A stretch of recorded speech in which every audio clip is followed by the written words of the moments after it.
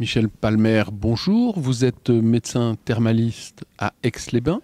Les cures thermales euh, permettent de soigner beaucoup de choses. Euh, Est-il possible de faire euh, un petit panel des soins et, des traitements thermaux? Alors, il y a 12 orientations en thermalisme. La principale, c'est la rhumatologie. Ensuite, pas vraiment dans l'ordre, les voies respiratoires et l'ORL.